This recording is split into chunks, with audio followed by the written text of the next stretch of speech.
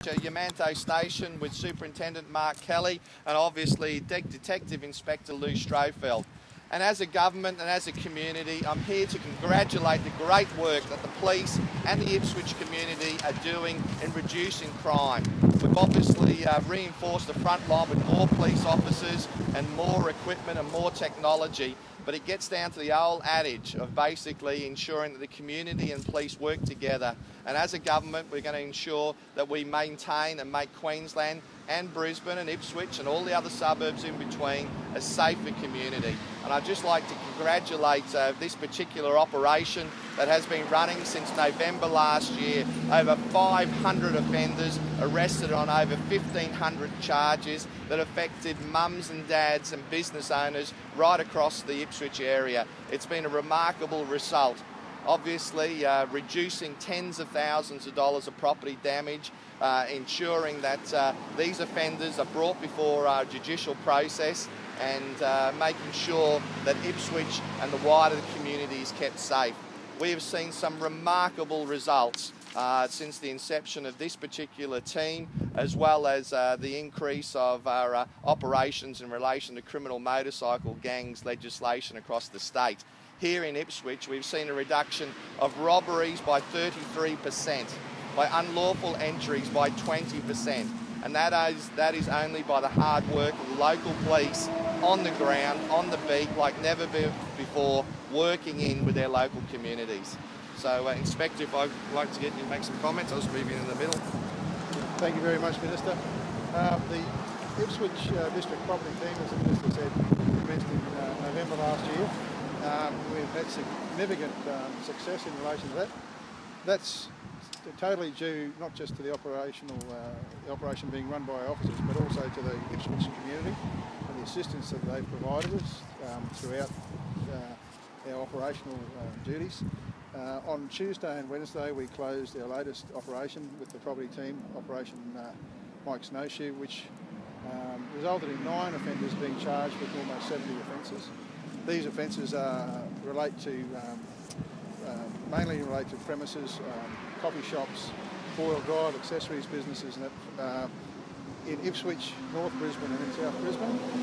Um, the operation was conducted uh, in conjunction with the property teams from both of those police districts, and it's a, it's a really good example of the uh, borderless policing uh, which is going on within the southeast corner of Queensland. What do you yep. think? Of these? Um, I mean, they're not kids, they're not teenagers, they're, they're aged in their 30s, most of them. What do you think of the behaviour of these adults? Well, it is atrocious. They're targeting businesses um, uh, predominantly, doing uh, significant amounts of damage and stealing large amounts of property and cash. We at this time haven't recovered a lot of the property at this point, um, but um, it is good that we have been able to apprehend these. And two of the offend, uh, alleged offenders were remanded in custody yesterday in the Ipswich Magistrates Court.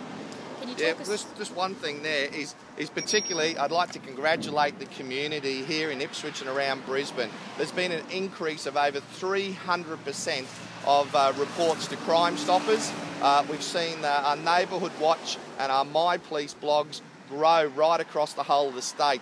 My Police blogs with over 20 million hits, and particularly here in, in the uh, Ipswich community where people have said enough is enough and they are working in because at the end of the day, police are as only as good as the information they receive.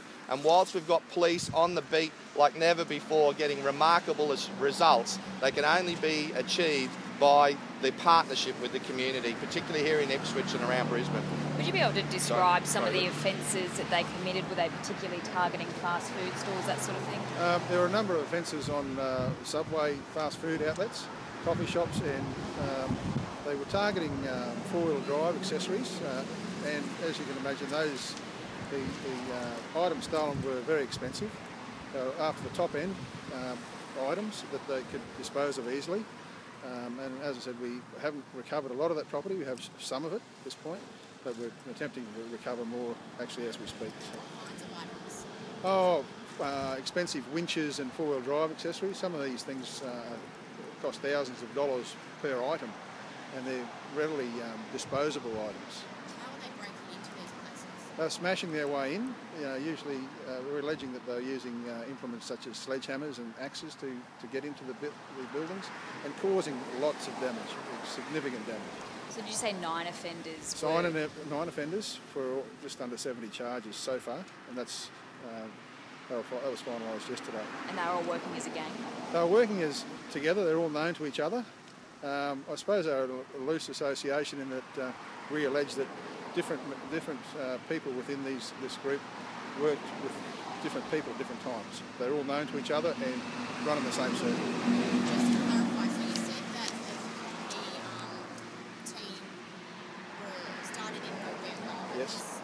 This, this recent operation, are they? Are we talking two separate? Two separate, yeah. Yeah. So there's, sorry, Luke.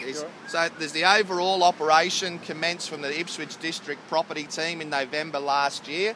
And a culmination of that and the success of that, we've seen the recent operation, uh, which has commenced, uh, which is uh, obviously uh, targeting uh, and these hard-hit areas. Because as we have now, as the, the inspector alluded to, we no longer have these small operational police units working independence. We have a borderless policing approach towards uh, uh, our police response. So we're able to cu- accumulate large groups of police, gather, give them the, uh, the, the infrastructure and the technology now to be, a, be able to target certain individuals. But one thing important, and I do implore the community, you will not leave $1,000 on the bench or you will not leave $10,000 or $20,000 sitting on your kitchen bench.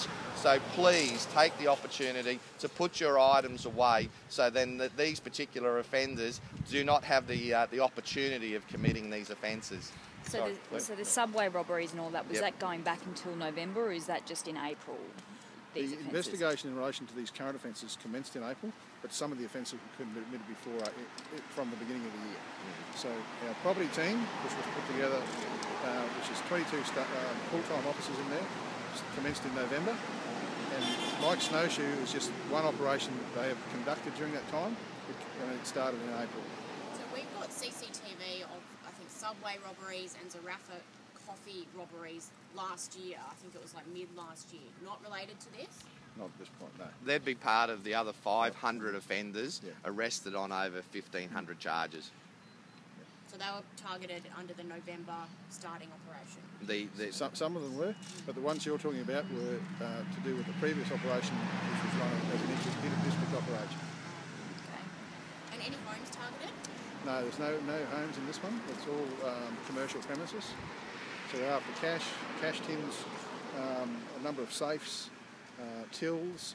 But with the four-wheel drive accessory stores, it was the high-end, expensive equipment like winches and recovery gear uh, and things like that, which are easily disposed of. Did you put a dollar figure on perhaps the stolen goods? No, we haven't been able to tally it. at this point.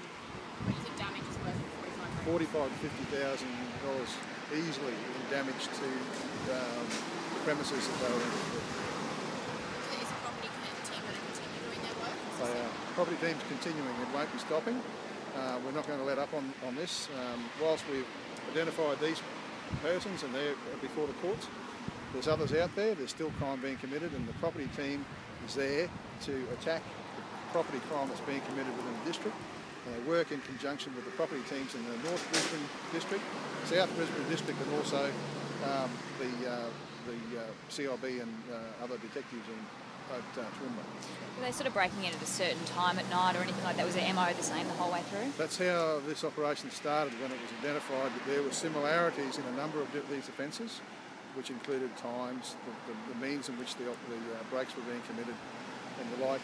Um, and that's when the operation was put together to identify offenders. Well, we allege we have identified those offenders, and we're now to put those before the court. How are they arrested? The main offenders have been caught. We believe so, yes. In- this- Yes, we did have uh, good good uh, response from the public. Um, Crime Stoppers, as, as the Minister has alluded to, is uh, a magnificent tool for the police. It's something that we couldn't do without, and uh, we'll promote it at every chance we get because it is it's what we have to have. We cannot solve crime without the community us.